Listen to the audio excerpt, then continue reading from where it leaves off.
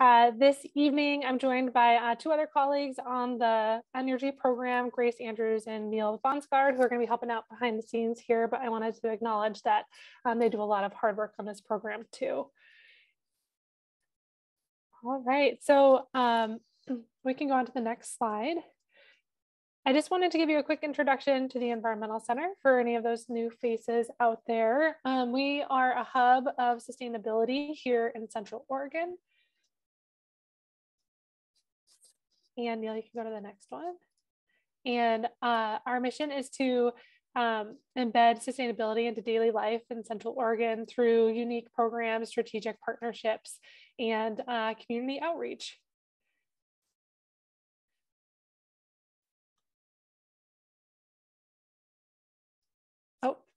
Sorry about that. So our um, work began with a handful of people now um, almost 30 years ago in the center of Bend. And since then, um, we've grown to become a regional leader in environmental, excuse me,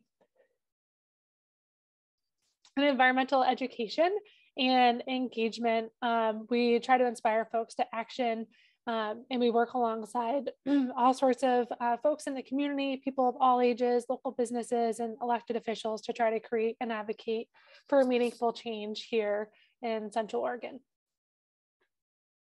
Uh, so we do that through educating kids, inspiring adults, advancing change, and hopefully shaping uh, this place that we call home. And we believe in this quest for creating this um, better place to live right here in Central Oregon is um, really important and it can all start with you. And that's why um, we're really excited about this um, Power Hour series that we have going on uh, because we're hoping to engage with folks in the community to have some real conversations and dialogue to build a baseline understanding of how can we actually produce uh, renewable energy in our own backyards in our region and uh, for other communities in Oregon, how we can actually start to dig in and uh, figure out what sources of, of um, renewable energy could actually power our communities. Uh, so this series that we're working on, uh, we're calling Homegrown Renewables, and it's a special uh, series of our Power Hour event lineup this spring. We're going to focus on um, a whole host of um, renewable energy sources, such as geothermal, which we're digging into tonight, as well as biomass, um, in conduit hydro and irrigation modernization, uh, as well as solar. And um, we're really hoping, again, that this can be the beginning of a conversation as we start to look at how we can produce renewable energy right here in um, Central Oregon. And this is especially timely because the city of Bend is looking at how um, we can produce 100% of our energy with renewable energy sources. And uh, we are starting to kick off some grassroots planning to put together a Deschutes County energy plan and are currently doing an inventory of where we get our energy from and how we get and how we use energy so that we can put together a comprehensive plan of where we'd like to see our energy um, our energy production go in the future. And so this will be a great place for us all to come together and learn so that we can engage in um, conversations about setting those goals for our community. Uh, so that's all I have for you. I'm going to uh, pass it off to one of our partners at Sustainable Northwest, Bridget Callahan, uh, who's going to just give you a quick overview of their Making Energy Work Coalition and how uh, this feeds into some of the work that they're doing and introduce our speakers.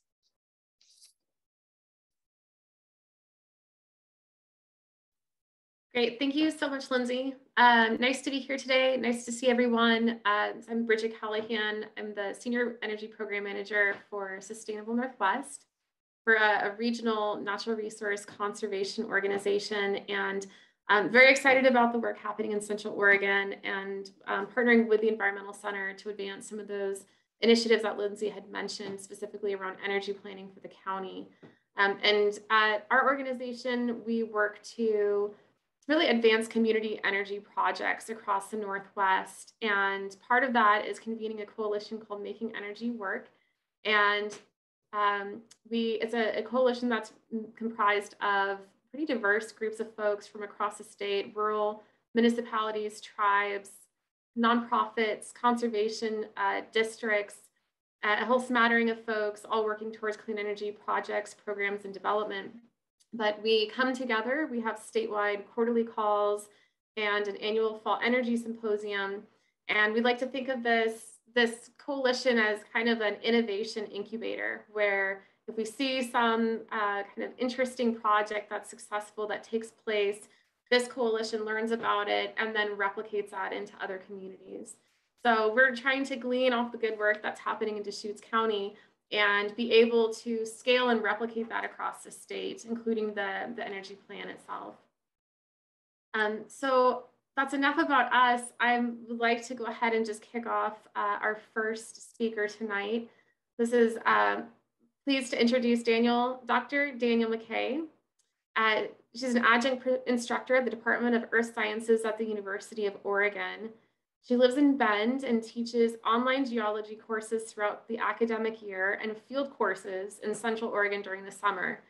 Her research background is in physical volcanology with a focus on recent mafic eruptions uh, in the Central Oregon Cascades. She's also interested in how societies prepare for and respond to natural disasters, especially volcanic eruptions and earthquakes.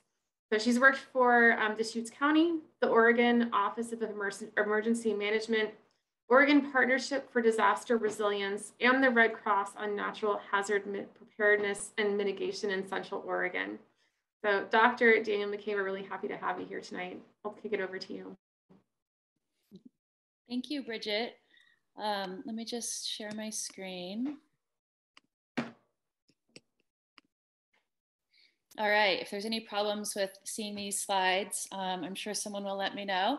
So I'm just gonna give a brief overview of geothermal energy, just kind of what it is and what the different types are. Um, and I, I think this is maybe mostly just to set the stage for the discussion. And also I noticed that geothermal energy quite often doesn't even get mentioned in sort of the, um, the handful of renewable energy um, resources that are out there. You hear about wind and solar quite a bit. Um, geothermal, not as much. So hopefully this will kind of um, set the stage and answer some of the questions that people might have about geothermal energy. And this slide is a picture from Iceland. This is a geothermal power plant in Iceland where they're taking hot water out of the ground and they're turning turbines with it. We will talk about that in a few slides. So they're actually generating electricity using hot water. But also, um, I don't know if you can see my pointer, there are these pipes that are coming out of the plant. And once that hot water has been used to turn turbines and generate electricity, it's still hot water. It's not hot enough to generate power, but it is still hot water. And it's piped to Reykjavik, which is the capital of Iceland. And that hot water is then run through radiators and it supplies heat to everyone's homes. Um, it melts ice off of the streets. It goes to swimming pools people's showers. So not only are they generating power at this power plant, they're also supplying all domestic hot water to the capital. Um, and that's common throughout Iceland. So geothermal energy can be used in a variety of ways, and we'll talk about some of those in a few minutes. Um, but first, just a little introduction. Um, to to the earth. So you're probably uh, have seen images like this before of the layers of the planet. There's the core in the center of the planet the mantle and then we live on this very thin veneer on the surface of the planet which is the crust. And the estimated temperature of the core is about 10,000 degrees Fahrenheit, about the same temperature as the surface of the sun. The estimated temperature of the mantle, which makes up most of the volume of the planet, it varies from about 1600 degrees Fahrenheit up here towards the surface um, to about 7,000, a little higher degrees Fahrenheit down towards the core. And together, the core and the mantle make up 99% of Earth's volume. 84% of, is, of that is in the mantle, 15% of that is in the core. So the whole point here is there is a lot of heat in the Earth, and we are not going to um, use up all of this heat, no matter how much energy um, we extract from geothermal power, um, we would never use up the, the heat of the earth. Um, all right, so next slide. Um, so a geothermal reservoir, when you, when you hear about geothermal energy, um, oftentimes you hear about this term reservoir. And a geothermal reservoir is not the same thing as a reservoir of water. We think of reservoirs, uh, a place where maybe you dammed a river, that dam backs up uh, a lake, a man-made lake. Um, so in that sense of the term, reservoir is a big pool of water.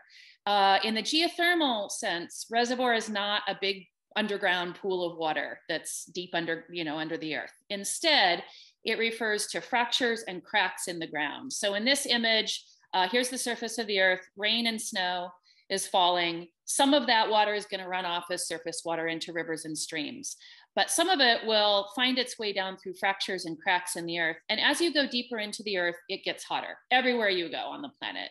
The deeper you go, the hotter it gets. So as that water percolates down, and it's not getting anywhere near the mantle, this is all in the crust of the earth. Um, but as it goes down, it the rocks are warmer. Um, this image is drawn to kind of imply that there's like a big magma chamber down there. That's not the case. This is just implying that the rocks are getting warmer and warmer, but not that they're molten. Um, so the water percolates down, and as it gets into hotter and hotter rock, that water heats up, and eventually it comes back up, and it might come all the way back up to the surface, and that's a hot spring or a geyser or some um, manifestation of, of geothermal hot water on the surface of the earth. But most of that water just stays down, deep down underground. So that term geothermal reservoir actually implies three different things. You have to have these three different things in order to have a geothermal reservoir. One is hot rock, and everywhere on the planet, if you go deep enough, there's hot rock. The second is water. And the third is fractures in the rock. If there's no fractures in the rock, then that water can't percolate around and get heated up. So the more fractured this area is, the larger the geothermal reservoir. The more cracks and fractures that there are, the more water there is percolating through, and the more hot water you end up with. So keep that in your in the back of your mind as we talk about um, geothermal reservoirs and geothermal um, power. These are the three things that you have to have: hot rock, water, and fractured rock. So here's just kind of a poor resolution image, um, but it's showing a geothermal reservoir as like a like a geothermal engineer would think about it. You have an injection well where you've drilled down and you've pumped in some cold water. You have a geothermal reservoir, which means there's hot rock here. That, and it's, again, this isn't a magma chamber. The rock is only hot because you go deep enough down into the earth. Um, and you have fractures in that rock. And the cold water that you've pumped down percolates through these fractures. And then you can drill another well, a production well, and you can take that now hot water out of your geothermal reservoir and you can use it to generate power. So if we look at a map of the US, um, this shows, let's see, me move some things around on my screen so I can see all of this slide. Um, so this shows the estimated temperatures at depths of about six kilometers or about 3.7 miles everywhere across the United States. So if you drilled anywhere in the US and you went down deep enough, about six kilometers, these are the temperatures that you would encounter. And so here in the West, we have a lot of volcanic activity. We think of this area as being great for geothermal, but we think of the rest of the US as being not so great for geothermal. And that is true. If you drill down in most parts of Oregon, um, you don't have to drill as far to get as high temperatures. And if you drill the complete six kilometers that's showing shown in this map, you would get temperatures greater than 200 degrees Celsius in many parts of Oregon. But even if you go out here into the Midwest and parts of the East Coast, you can drill down six kilometers and still get fairly high temperatures. So we have a vast geothermal resource across the United States and the rest of the world is, is similar to this. Um, all right, so uh, just a, kind of an overview of how geothermal energy is used, um, a variety of purposes. It can be used to produce power, and that's really what the rest of these slides will focus on. So that's to generate electricity. Uh, it can be used as a heat source. Hot water can be run through radiators to heat residential, commercial, or industrial buildings, sort of what I was talking about in Iceland. It can be used for aquaculture or horticulture. Um, hot water can be used to raise fish that require warmer water temperatures than what you have um, in rivers and streams, and also used to heat greenhouses. Um, so these photos are all from Iceland, and they just show examples of all of this. Uh, these tanks raising fish that aren't um, that wouldn't live in Iceland normally that need warmer water are all heated with geothermal um, water. That doesn't mean they're hot, but they're warm enough for whatever species of fish they're raising. And then you also can commonly see greenhouses in Iceland where they're growing food like tomatoes and cucumbers that wouldn't really do well in that environment normally, but they're growing them in greenhouses that are heated with geothermal energy. Um, all right, so we're gonna focus on power, generating power, extracting that energy and actually generating el electricity. Um, so geothermal energy is extracted by drilling into rock that is hot. You have to have those high temperatures and also fractured. You have to have high porosity or high, and high permeability. Porosity refers to the amount of uh, space that's in that rock, little holes in the rock. And permeability refers to the connectivity of those holes. So if you have a lot of holes in the rock, but none of them are connected, that's not going to work for a geothermal reservoir. There have to be connected fractures and connected holes that that water can percolate through. Um, so again, this is sort of those three ingredients that you must have in order to have a geothermal reservoir. So if groundwater exists in the rock layers, that groundwater is just pumped to the surface. You just drill a well and take out the hot water that already exists. Um, if groundwater does not exist in the area, then water or other fluids can be pumped into those rock layers where they're heated. And that's what this image here is showing. Um, there's no groundwater in this area, but there is hot rock and the rock is fractured. So cold water is pumped down, it percolates through those fractures, it heats up, and then the hot water is pulled back up and used to generate electricity. Um, and the techniques used for power generation depends on the state of that hot fluid that, that you're taking up. Is it liquid? Is it gas? Or you can think of it, is it really hot water or is it steam? Um, and those techniques used for power generation are either dry steam power plants, flash steam power plants, binary cycle power plants, and then we will, and we'll look at each of those individually. And then we will also look at this enhanced geothermal systems. What are those? Um, that's not a means of power production, that's actually a means of creating a geothermal reservoir. So let's look at each of those individually. Um, all right, so dry steam power plants and flash steam power plants. These are used in volcanic areas where temperatures are high. You don't have to drill down as far in order to encounter these high temperatures. Um, so I have this image here, hot water or steam is taken out of the earth. It exists there already um, and that's it's just taken out of the earth and it's used to turn a turbine. So uh, a well is drilled. Hopefully you can all see my cursor here. Hot water is comes out. It's extracted out of that geothermal reservoir. Um, it goes into a tank where it's either either it comes out as steam or it's flashed to steam. The, the water might have come out as a liquid, um, but then we turn it into steam um, because of the reduction of pressure. And that steam drives a turbine. And this part is the same as almost every other power plant on the planet coal fired power plants, oil and gas fired power plants, nuclear power plants. They're all heating up water. The reason that we're burning coal or burning oil or gas or burn or um, separating nuclear fissionable material, the reason we're doing that is to generate heat and that heat is used to heat up water at, uh, to steam, and the steam is used to turn a turbine. So once we get that hot water out of the ground, this power plant is essentially the same as any other power plant. The steam turns a turbine. The turbine generates electricity, which goes out to the grid, which is represented here over on the right. And then that steam is sent into a condenser, which looks like a cooling tower. And these cooling towers can look like cooling towers at any other power plant. They can look like cooling towers that you think of as being nuclear cooling towers, but you also see them at coal fired power plants and a variety of other types of plants. And all that tower is doing is just allowing the steam to condense back to water. So it's going from a gas, steam, to a liquid water. And then that liquid water is pumped back down into the geothermal reservoir so that it can heat back up by that hot rock. Um, so that's the basics for generating power from, from geothermal um, water, from hot water. And the heat source for these systems is inexhaustible for as long as volcanic activity continues, which on our time scales, on a geologic time scale, the volcanic activity might stop, but on human time scales, that's usually, you know, indefinite, um, so sort of as far as we can see into the future. All right, so dry steam power plants and flash steam power plants um, both used in volcanic areas where temperatures are high. And in both types, the hot steam or water comes directly out of the ground and goes through the turbines.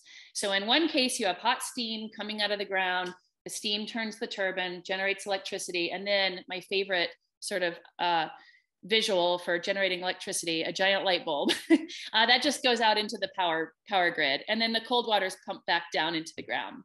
In flash steam power plants, the hot water comes out um, as hot water. It's not steam, it's flash to steam.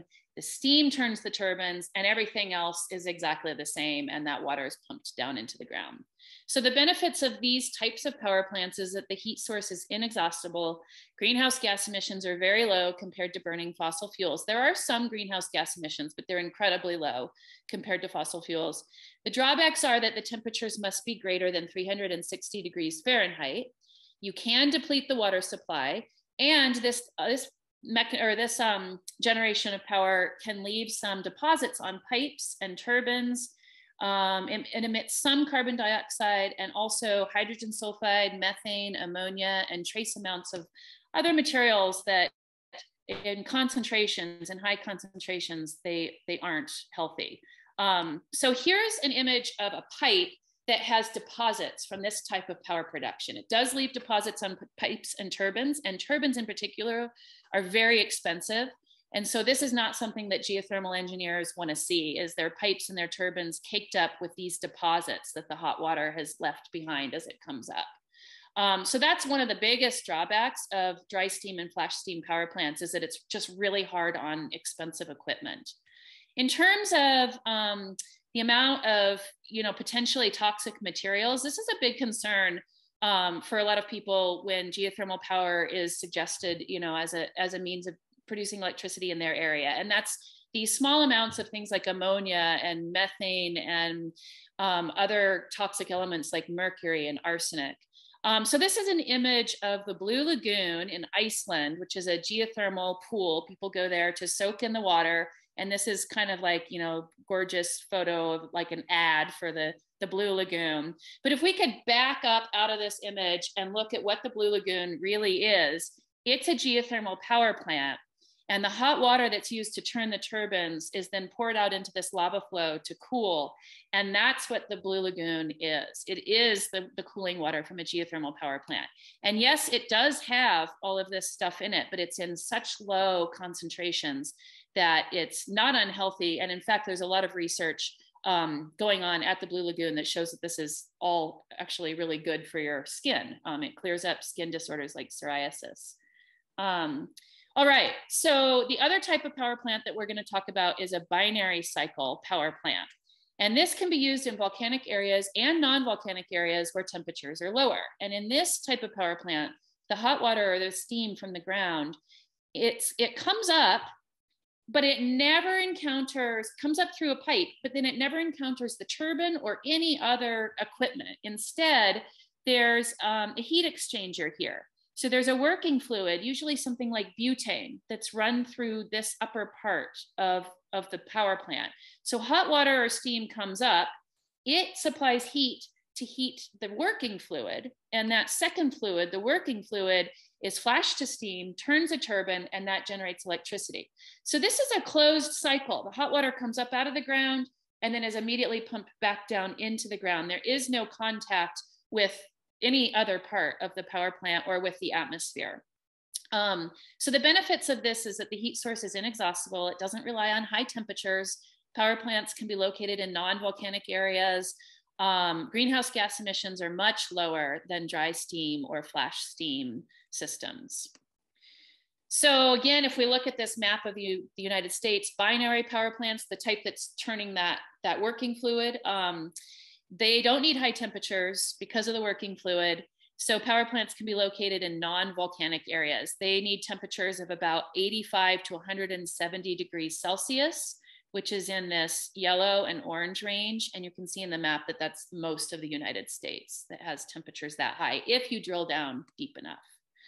And then I only have a few minutes left, um, but I'm just gonna very quickly cover enhanced geothermal systems or EGS. These are also sometimes called engineered geothermal systems. This is not a type of power production. This is actually a way to generate a geothermal reservoir. Once you make the geothermal reservoir at depth, the power production can be the binary plant or any other of the plants that we just went over.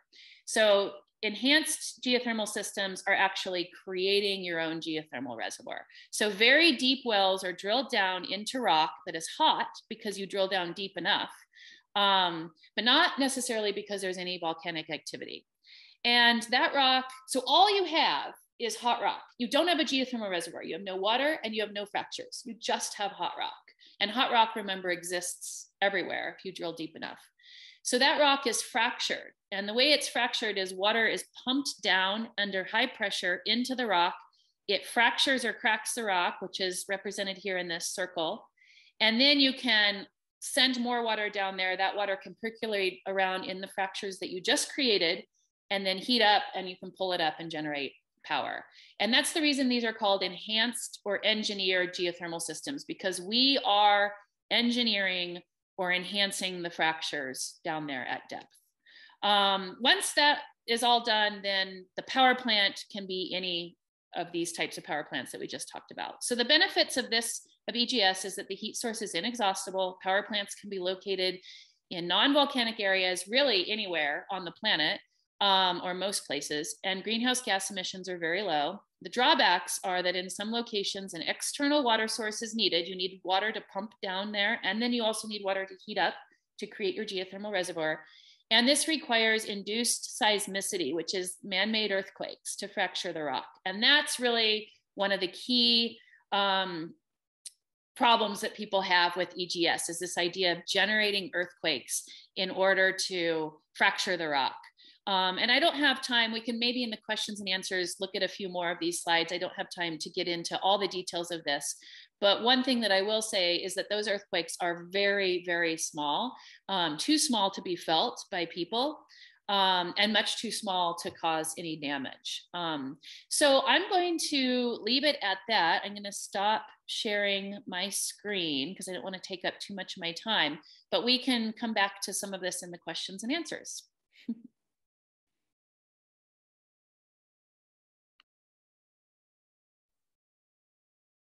Great, thank you so much, Dr. McKay. I have a, a million questions, but uh, looking forward to a lively Q&A at the end. Um, so next I would like to introduce Joshua Reed, who's a project manager with Energy Trust of Oregon's Renewable Energy Program.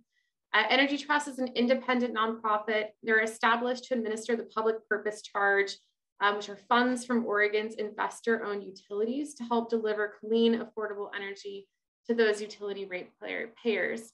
Um, he works in with the other renewables team, which supports the development and installation of non-solar renewable energy projects.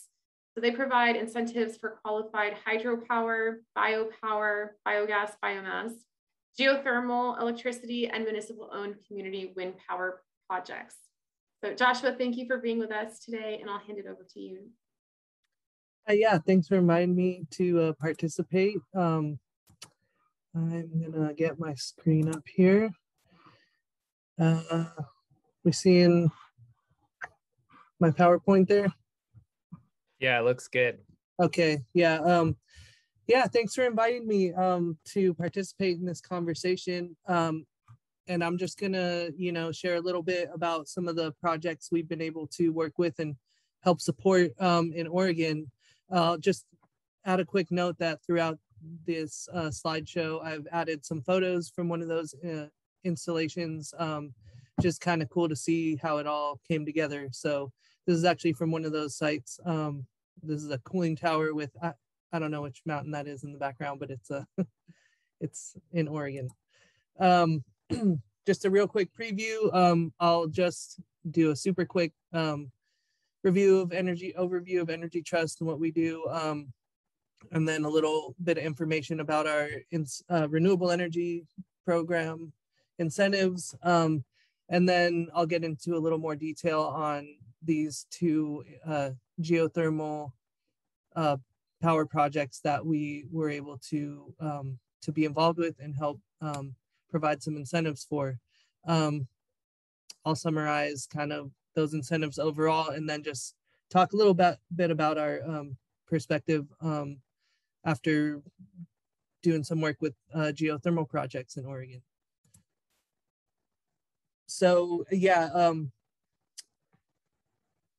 Bridget basically summarized it um, for you, so I'm not going to go over it too much. But yeah, we we administer that public pur purpose charge, um, serving the investor-owned utilities, uh, and you know to to bring clean, affordable power to to all those customers. Um, just a little note about our renewables program. Uh, all of our funding for renewables comes from the investor-owned electric utilities.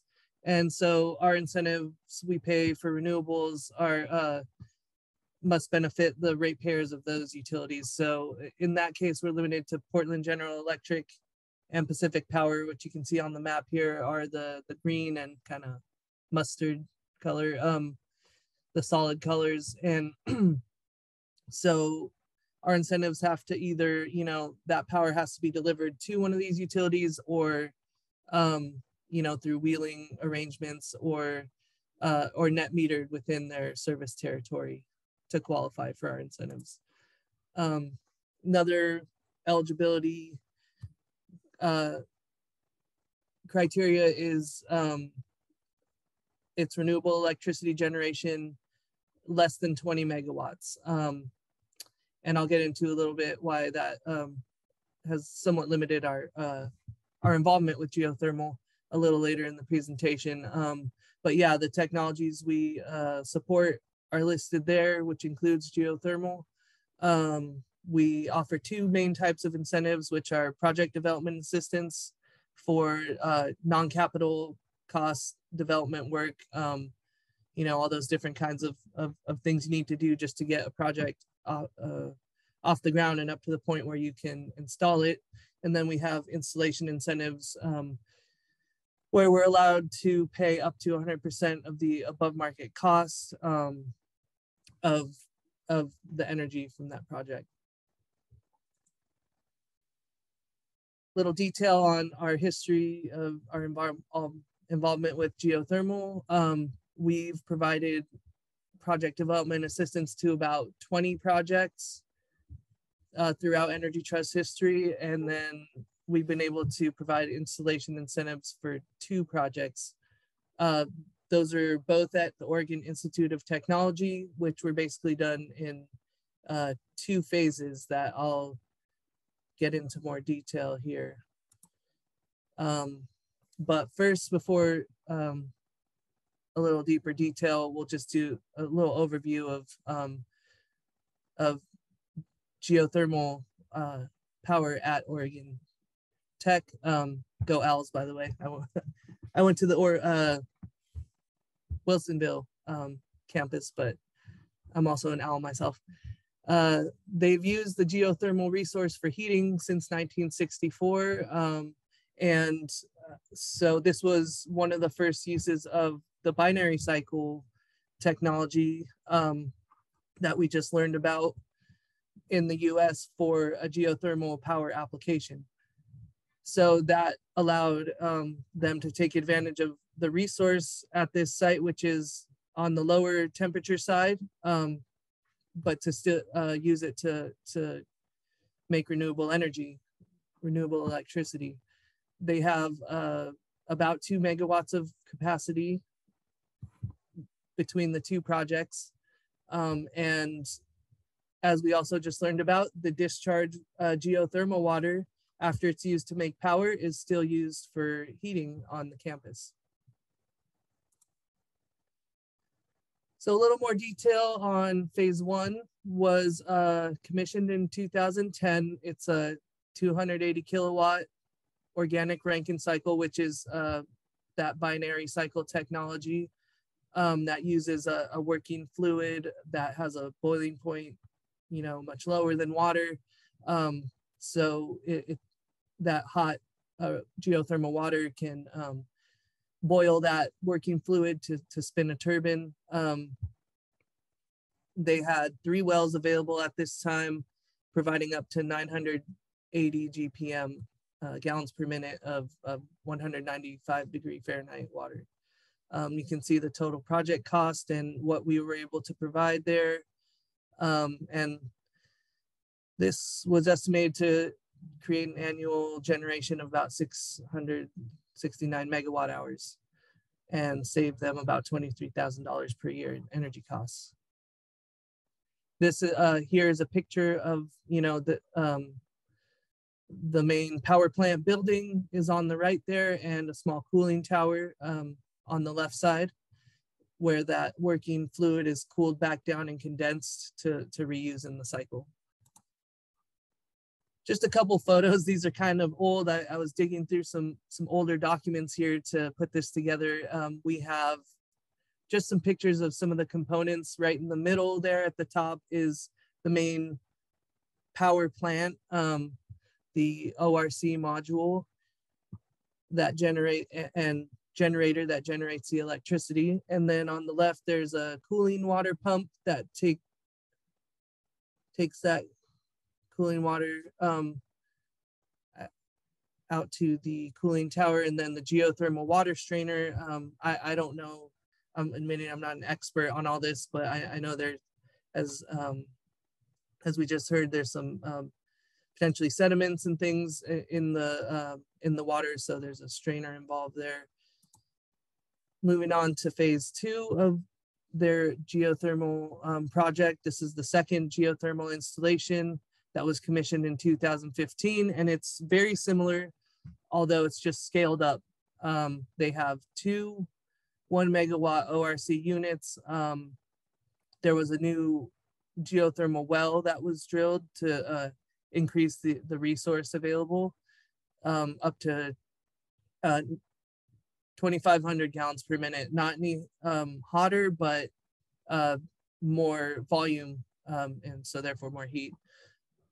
Um, so altogether, these two are a 1.75 megawatt capacity. Uh, much higher costs, you can see. Um, and we were able to provide a, a much larger incentive for this. Um, but you see the generation is also um, much higher and um, the savings as well. They've also been able to use, um, you know, other funding sources and grants. Um, the, the Department of Energy and Pacific Power both provided grants on this installation.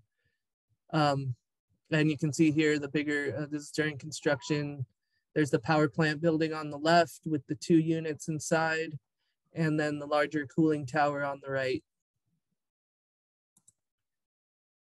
Couple photos, uh, you see the two power plants. Now it's uh, interesting that these were um, sort of a novel um, configuration. They, they put the two in series. Um, so the geothermal fluid would go through those two units in series to be able to extract um, more, more heat from, from the same volume of water. Uh, on the left, you can see just to compare the, the scale that you're working with with the, the cooling water pumps. There's two and they're much bigger than the other system. Um, and there's just an interesting photo I found of one of the uh, injection well vaults. So just a summary of uh, what Energy Trust was able to support these projects with. Um, both phase one and phase two um, received project development assistance for you know feasibility studies and and other development work and um, and then both got an installation incentive so altogether we were able to provide about 2.1 million between both of these projects um, so yeah i'll just um, summarize some quick um, quick thoughts, uh, observations through our uh, history with working with these projects. Um, you know, there there are a lot of challenges and some limitations to us being able to to do a lot of work with geothermal. Um, you know, it, it tends to be the most expensive form of renewable energy um, technology that we support at Energy Trust, um, and also more speculative for um, you know project developers there's a lot less certainty of, of the outcome of uh, some of that development work. Um, and our involvement is also somewhat limited because of just the um, projects tend to benefit from economies of scale and the scale that these types of projects need to to be financially feasible um, can challenge our, our limit of being of uh, being able to fund smaller than 20 megawatt systems. And of course, we have a limited renewable energy budget um, but we're seeing interest in this uh, as a you know a baseload renewable technology that could also potentially provide resilience benefits on a community scale and um, you know we're starting to try to identify and, and coordinate um, additional funding sources for these types of projects as as they may um, continue to develop. So I know that was quick. Uh, here's another cool picture of both um, power plants side by side. On the left side, you see the smaller uh, power plant building with the small cooling tower right behind it. And then on the right side of the picture, there's the larger power plant and the cooling tower all the way to the right, sort of behind that building. So I thought that was kind of cool. Um, thanks for uh, your attention and for inviting me to participate. Um, you know, feel free to contact me um, anytime to talk about potential projects and how we might be able to help. Um, and yeah, thanks a lot. Let me know if you have any questions.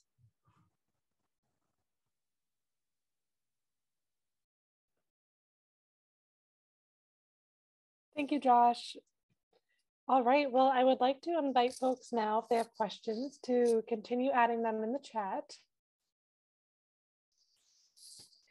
And we have a few questions that have come in, so I'm gonna start um, with some of those and um, we can go from there. All right, uh, so we had a question come in uh, while Daniele was speaking at the beginning. Um, what is meant by flash to steam? Are there other energy inputs that are needed to flash the hot water?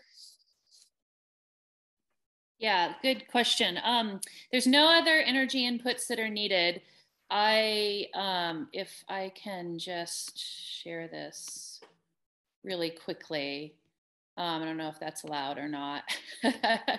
uh, this is so that so that that question gets at the the phase diagram of water essentially which is what you're looking at and it just we're here living on the surface of the earth we think of water um, and steam being controlled by temperature but they are just as much controlled by pressure um, so whether water is a solid a liquid or a gas is just as much a control of pressure as temperature that's all this diagram is saying and so here if you have I turn my cursor into a giant pointer. Hopefully you guys can all see this.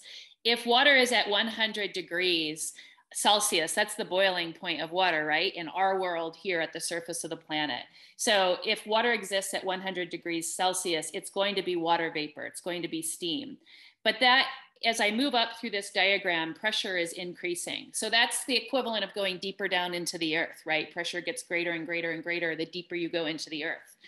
So water that exists at depth in the earth can actually be, it's at very high pressure and it can be much over 100 degrees Celsius and still be liquid. It's not steam.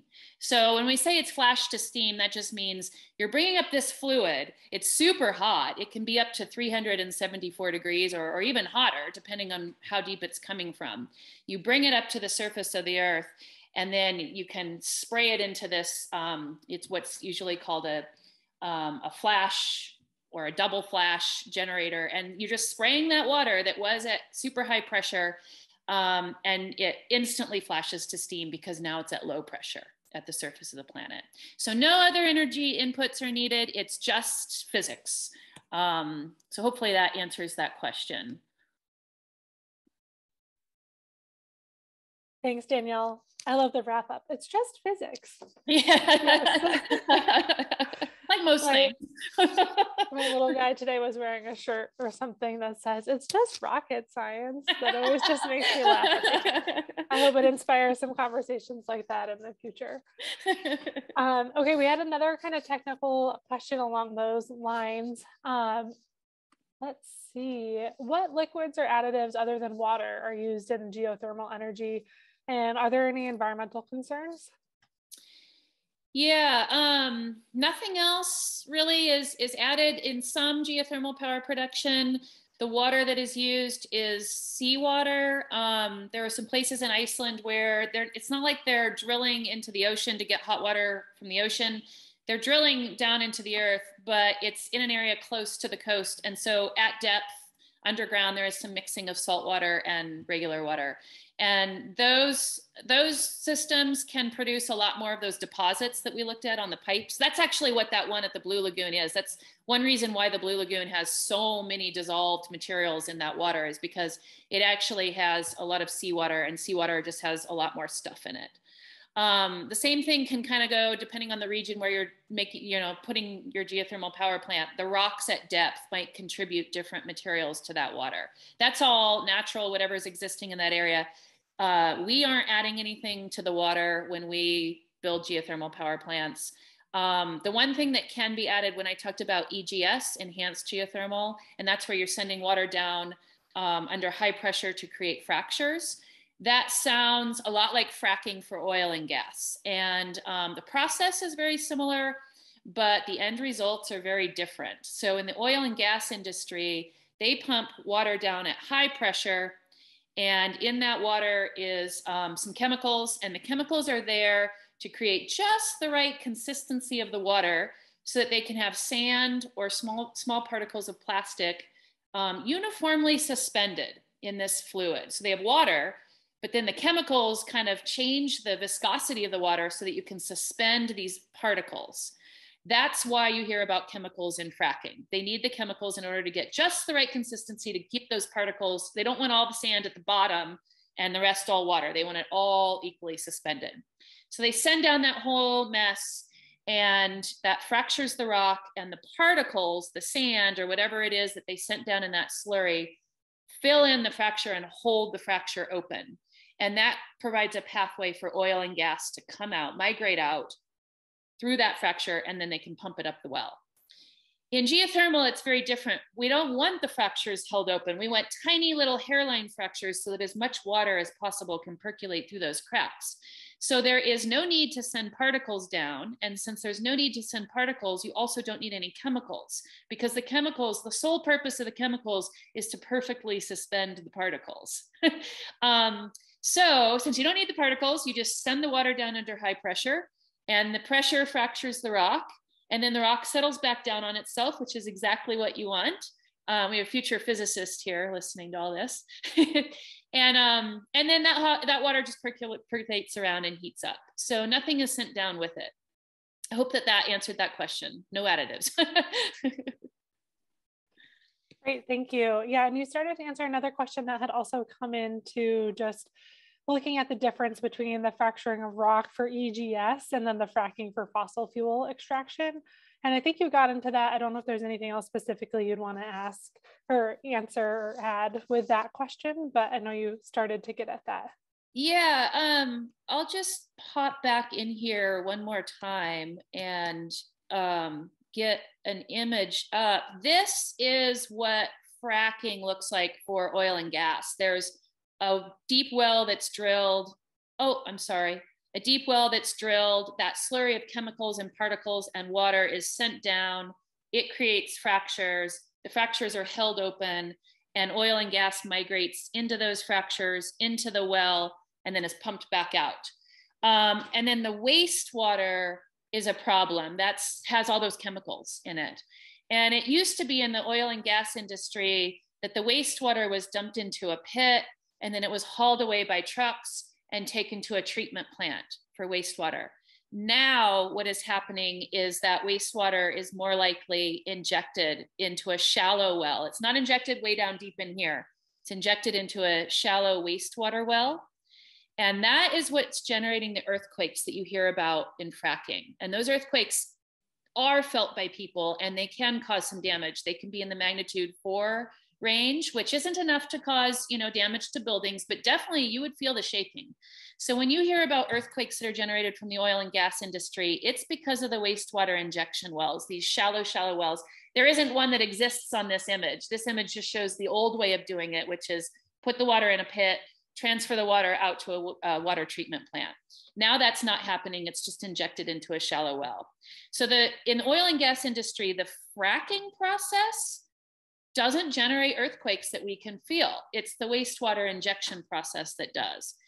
Uh, for enhanced geothermal systems, there is no wastewater injection. It's just pumping down water, opening up those fractures, and then letting water heat up. And so the earthquakes that are generated in EGS are these very deep, very small earthquakes. They're not like the wastewater injection earthquakes in fracking. I, uh, I don't know if there was a question actually about that, but that is one thing that comes up quite often um, mm-hmm. as a question for enhanced geothermal systems. So I just thought I would uh, address that.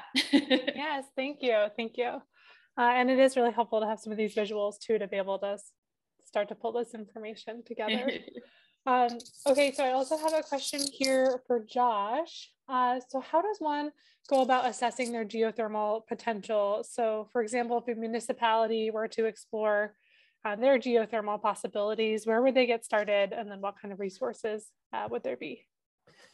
Uh, yeah, so as I, I am gonna I'm gonna repeat my my previous disclaimer that I I'm really not um, super knowledgeable and an expert uh, in in this area. Um, Dr. McKay probably has a, a, better answer than me, but um, you know I I think it usually starts with you know knowing that you're in a, a region with a good you know geothermal resource that might manifest on the surface with some type of hot spring or you know geyser that type of um, of expression um, and then so that may be an area where where you're likely to to be able to get hotter water with a shallower drilling um, and uh, so it does involve drilling uh, I, I believe um, you know test wells to sort of test the water and um, as as I as we heard about the the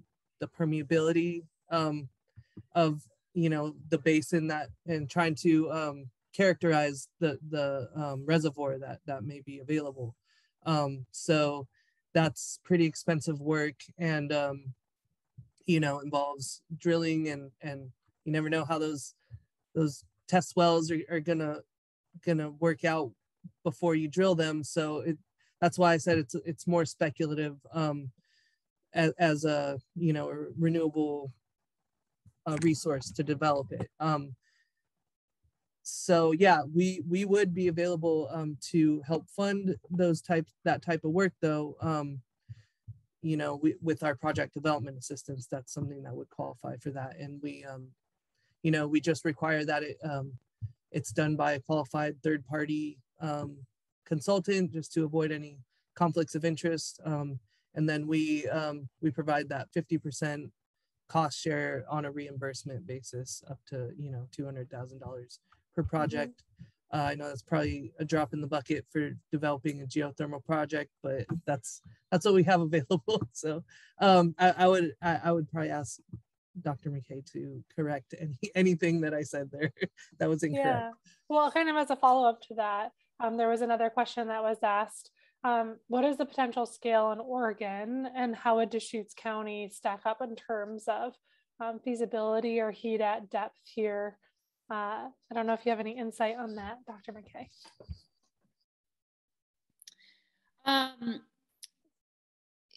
yeah, there's been, so there's the map that I showed, you know, that kind of shows the, the heat at depth. And that's really, at kind of the deeper end of, of the wells that we're drilling. Most geothermal is at much more shallow wells than that. And so to really get the answer of, you know, do we have temperatures that are high enough for these different types of geothermal power plants?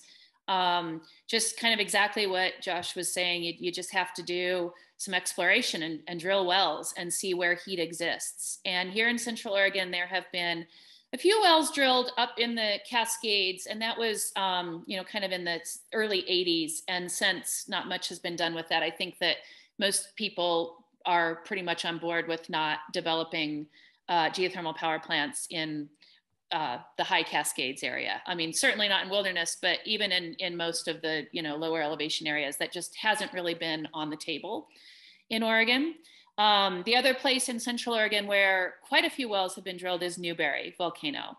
And that again was in the, a lot of those were in the 80s. And that prompted actually the designation of Newberry as a national monument. Um, it was really kind of the geothermal power exploration, um, Forest Service, BLM, some of the different land management agencies, and then local um, groups in Bend who were concerned about geothermal power production you know, at Newberry, all came together um, and drew up a boundary, a monument boundary. And um, there's no geothermal development or exploration within the boundary, and outside of the boundary there is. So there have been wells drilled outside of that monument boundary um, and inside before it was designated as a monument. And we do have the heat source, um, certainly for binary power production. Um, that's where you use the working fluid. Um, and for EGS, what EGS really does is enhanced geothermal systems is it really, because you're uh, fracturing the rock, it, it isn't just heat. You know, we talked about geothermal reservoirs. It isn't just heat that you need. You also need fractured rock and you need water. And in, enhanced geothermal systems or EGS gives you the ability to produce that anywhere where hot rock exists. And so that really opens up not only most of Central Oregon, but really huge parts of the United States, it means that you can bring geothermal power plants to urban areas instead of this question of you know developing them out in um, in areas that are really maybe should be left natural.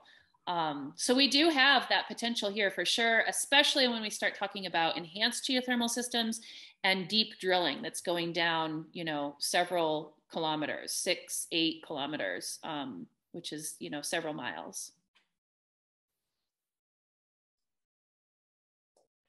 Yeah, I love that idea of thinking about like how could you actually do this in an urban setting and what's possible as we look at making that transition to a renewable future. Um, having lots of possibilities on the table is definitely going to be really important, uh, especially possibilities that don't um, interfere with the natural landscape as much too. So, yeah, I, um, I would just add a quick comment too that um, ha- having that located near you know the population centers also creates more potential to um, use that thermal energy in a useful way for district heating or you know that that type of application. Mm-hmm. Well, that's a good um, follow up, um, Josh. There was a, a note that was posted in the Q and A um, so somebody was saying that in the community where they live, they've tapped a shallow legacy well to create a geothermal loop that is running geothermal heat pumps uh, to each of the homes and businesses. And um, they're wondering if there are many other projects like this going on or are there funds to develop projects like that? And if we need to get into more detail, I can also send that out in our um, follow-up email. Yeah, with with Energy Trust, um, I, I'm not aware of any of that. Um, like I mentioned, that limitation within our um, program um, is, you know, for renewable generation. Um, so, you know, that, and then there may be something with with efficiency, and I, you know, I can look at into that and try to connect um, whomever with with the right person um, at Energy Trust to see if there's any any efficiency um, incentives or you know programs that they could participate in with that. So um mm-hmm. yeah i'm going to put my um my email address in the, the chat and feel free to contact me and we'll follow up later. And they had just also added in the chat too. Yes that's definitely the efficiency side of things not generation but definitely a really um, creative use of um, that geothermal potential that we have. So all right. Well, I'm going to um, wrap up here. I invite you all to um, post any other questions you have, and we can try to address those in our follow up email. I was also going to say that um, Daniele and a group um, that she works with, the Central Oregon Geosciences Society, had a really great talk last week with somebody, um, a scientist from the Newberry Project. And Daniele, is a recording of that event that I could share with folks. I'll share that in case folks are interested in learning more about what's been explored here in Deschutes County out at Newberry, because they did a really good um, in-depth presentation looking at some of those possibilities as well. Um, so I just wanted to um, share this last call to action here for folks. Uh, that if you're interested in getting involved at all with the Environmental Center, um, you can get involved in a variety of ways by attending events like this and joining the conversation. Um, you can volunteer at other upcoming events. We have the Earth Day Fair coming up and are looking for lots of volunteers for that event, um, as well as becoming a member. And I'll send out information on all, all of those opportunities as well. And then Um, a few other upcoming events that we have will be continuing this homegrown renewable series with a biomass event in April, and those uh, details will be released soon, as well as learning about how you can go solar with community solar and get subscribed to projects. Um, and then we also have the Earth Day Fair at the end of April, which is a really fun celebration in downtown Bend with a parade through Bend, as well as uh, lots of great information and organizations to connect to. And then I'm really excited about this last bit. We're partnering on an event with Leah Thomas to do um, a be part of her book tour um, for an intersectional environmentalist, and that'll be on May 3rd, and we'll have more details about that on our website soon. So I think um, that will give us a good wrap on this evening. I invite you all to email me any other questions and see how we can um, connect you with some answers to um, get questions answered and projects started across Oregon. And uh, thank you for um, those of you who had trouble getting in here uh, today. I appreciate your your patience um, as we worked on that glitch with Eventbrite. So thank you all for your grace with that. Okay, I hope to connect with each of you soon.